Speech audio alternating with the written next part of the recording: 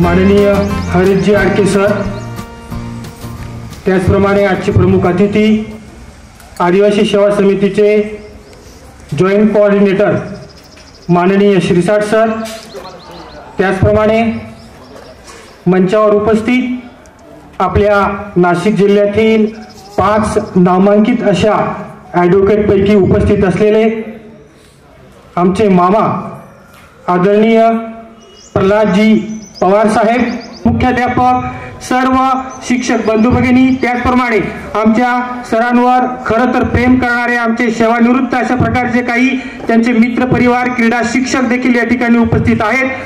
त्याचप्रमाणे उपस्थित सर्व विद्यार्थी मित्रांनो मी विद्यालयातर्फे आपणा सगळ्यांचं मनपूर्वक हार्दिक हार्दिक स्वागत करतो. भाऊ उपस्थित राहणार होते परंतु त्यांच्या व्यस्त अशा प्रकारच्या शेड्यूलमुळे त्या ठिकाणी उपस्थित राहू शकले नाही म्हणून आज आपल्याला जे अध्यक्ष लाभलेले आहेत माजी प्राचार्य तसेच महात्मा गांधी विद्यामंदिर संस्थेचे उपाध्यक्ष आदरणीय डॉक्टर हरितजी आडके सर या ठिकाणी आम्हाला अध्यक्ष लाभलेले आहेत.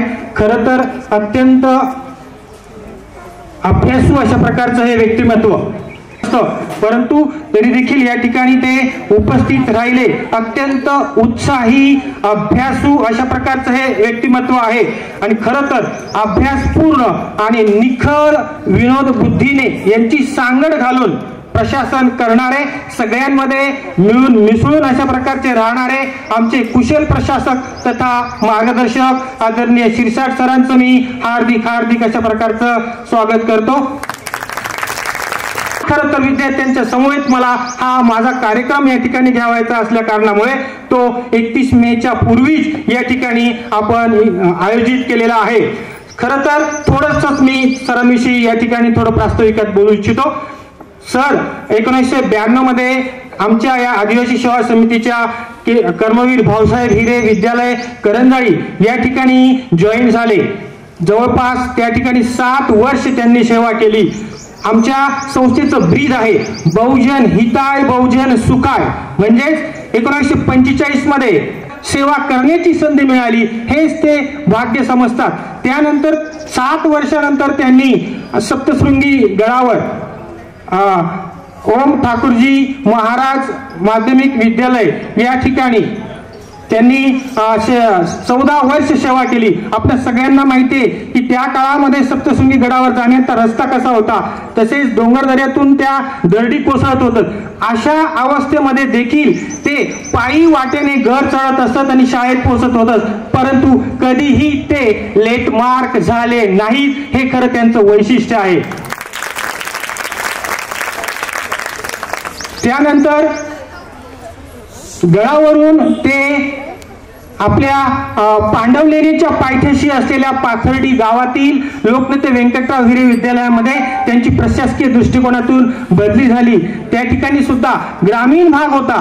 ग्रामीण भागातील विद्यार्थ्यांना आपल्या शिक्षणाच्या गरजा पूर्ण करणं शक्य नव्हतं. अशा वेळी ते त्या ग्रामीण भागातील आर्थिक परिस्थिती दृष्टिकोनातून जे विद्यार्थी खरं तर दुर्बल असतील अशा विद्यार्थ्यांना ते दत्तक घेत असत आणि दत्तक घेऊन त्यांच्या शिक्षणाच्या गरजा पूर्ण करत असत परंतु कधीही त्यांनी याची वाच्यता केली नाही. सहज आमच्या सुसंवादातून अशा गोष्टी मला समजल्या. म्हणून मी या ठिकाणी एक्सप्रेस होतो आहे. त्यांनी कधीच या बाबी एक्सप्रेस केलेल्या नाहीत. हे खरं तर त्यांचं वैशिष्ट्य आहे.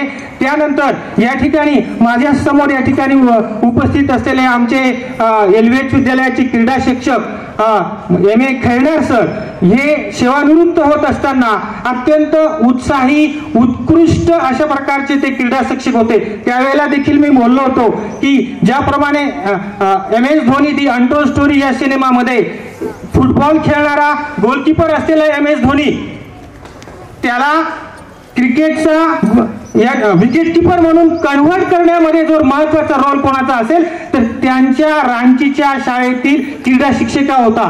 आणि तशा प्रकारची भूमिका आमच्या विद्यालयामध्ये माननीय खैरनार सरांनी भूमिका पार पाडली होती. आणि मग त्यांची सेवानिवृत्ती होताना त्यांची रिप्लेसमेंट कोणाची? एल एच विद्यालयामध्ये तर त्यावेळेला नाव होतं शिरसाट सराई खरं तर देखील आमच्या विद्यार्थ्यांना स्वच्छ पाण्याची सुविधा प्राप्त व्हावी. म्हणून या ठिकाणी तुमच्या स्टेजच्या डाव्या बाजूला असलेलं वॉटर फिल्टर जे आहे ती बसवण्याचं जे कार्य आहे ते सरांच्या कारकिर्दीमध्ये झालेलं आहे. इतकं स्वच्छ पाण्याचं विद्यार्थ्यांना मिळालं पाहिजे. यापेक्षा पुण्यकर्म काय ते असू शकतं? त्याचप्रमाणे विद्यार्थी मित्रांनो त्यांची त्यांच्या कामाचा उत्साह अजिबात कमी झालेला नाही. हे एक त्यांचं वैशिष्ट्य या ठिकाणी मला नमूद करावं असं वाटतं.